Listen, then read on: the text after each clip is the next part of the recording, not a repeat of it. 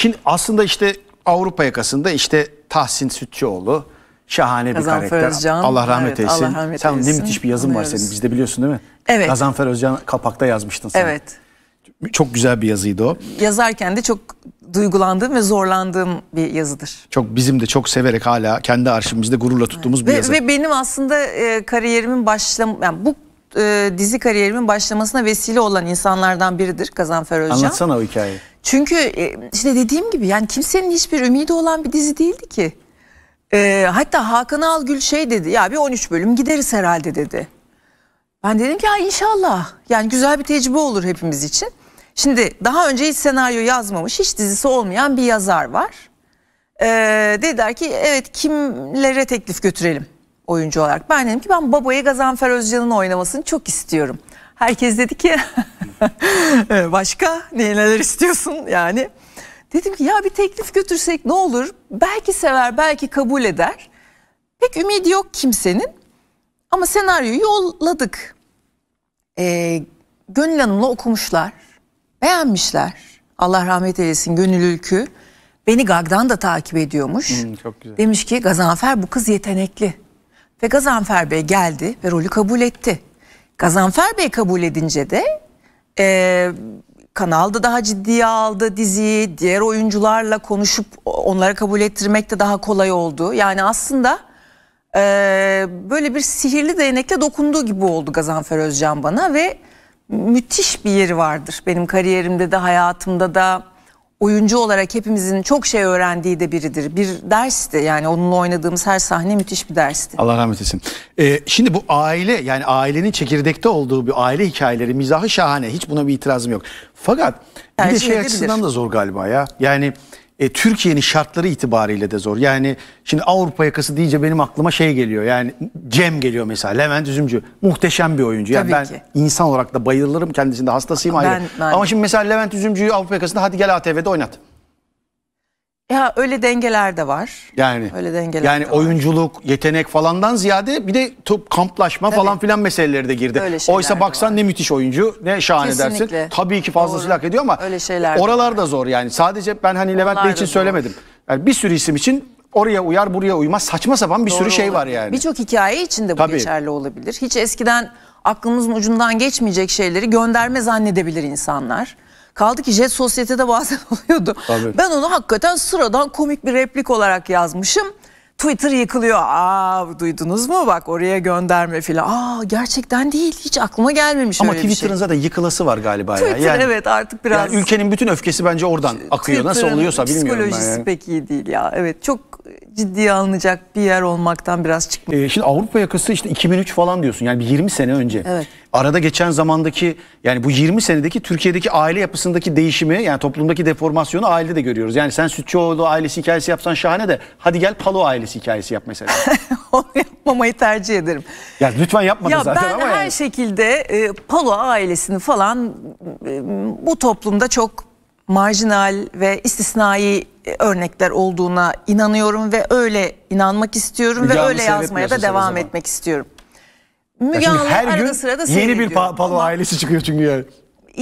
Ya ben e, e, Türk ailesinin öyle bir aile olmadığı kanaatindeyim.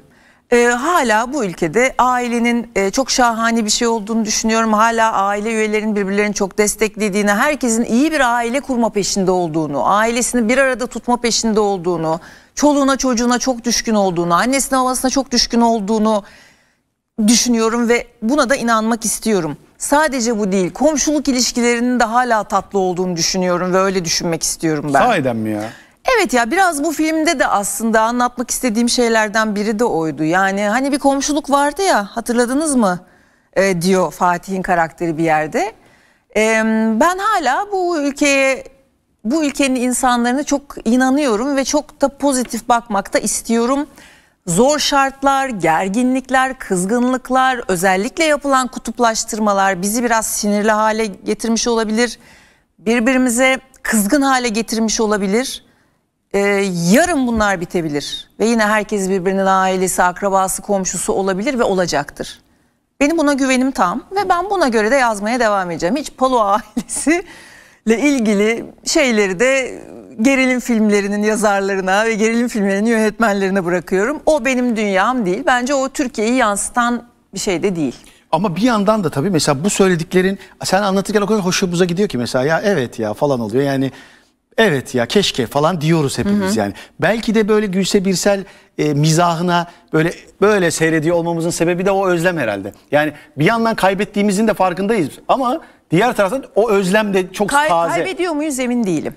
Ee, çok suni bir kayıp olabilir bu. Yarın geri kazanabiliriz. Ya gerçekten Yani ben üç gün içinde geri kazanabiliriz. Yine herkes birbirine çok kibar davranmaya başlayabilir eskisi gibi.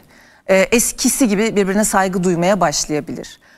Biraz suni bir e, siyasetten gelen bir suni birbirini öteki görme durumu var. Oradan mı geliyor? Kimse öteki falan değil. Yani e, işte yok işte mesela başörtülü karakteri biz niye konuşuyoruz burada ya? Orada başı açık 70 tane karakter var filmin içinde. Hiçbirini konuşmadık. İrem'in karakteri niye konuşuyoruz ki? Bize ne ya? Ee, kaldı ki zaten tipik bir başörtülü karakter falan da değil ama ben buna inanmıyorum. Bu gerçek bir şey değil. Bu suni, yalancı, altı boş bir kutuplaşma. Böyle bir şey yok bu ülkede. Kimse de buna inanmasın. Yarın yine herkes birbirinin kardeşi olur. Bu iş biter. Ee, yani ben böyle yarın derken ne kadar yarın peki? Bilmiyorum yani e, bunu e, birileri pompalamazsa biter bu. Yani Birileri e, niye pompalıyor sence bunu? E, yani siyaset böyle bir şeydir. Yani siyaset bundan kazanır. E, bundan belki seçmen elde eder. E, herkes yandaşını belki buradan alıyor. Bu benim e, bildiğim e, bir şey değil ama bu kadar troll varken belli ki bunlar da profesyonel insanlar. Bunlar para Ekmek kapısı kazanıyor. Yani ama bu meslek bittiği anda mesela bu büyük ölçüde bu kutuplaşma bir anda puf diye yok olacak. Al sana bir Çünkü yani bu, daha. bu ülke birbirini çok seven bir ülkedir. Yani yurt dışına gidersin Türk Türk'ü görünce sevinir. "Aa Bak oradalar falan diye. Nereden siz İstanbul'dan mı şeyler çok ucu, ucuzlamış burada falan diye birbirine akıl verirsin. Hemen bir ahbap olursun bir bilmem nereden tanıdık çıkarsın falan. Bu ülke öyle bir ülkedir. İnsanlar birbirini sever bu ülkede. Bu suni hikaye, bu balon, bu saçma sapan kutuplaşma falan böyle bir şey yok. Çünkü kutup yok. Bu ülke ben daha daha duygusal konuşayım mı? Hepimizin gözleri de olsun mu burada? şey. Cumhurbaşkanı adayım sensin benim. Zaten aslında bunu açıklamaya gelmiştim. Hadi artık Dur, biraz bir reklamlar bir dakika. Şimdi sen dedin ya ben genelde işte daha çoğunlukla aile mizahı yapıyorum. Yani ailenin temelde olduğu, hikayenin içinde hep ailelerin olduğu şeyler. Evet yani şunu demek istedim. Ee, aile anlatmayı bir kere çok seviyorum. Çünkü aile ilişkileri Türkiye'de çok eğlencelidir.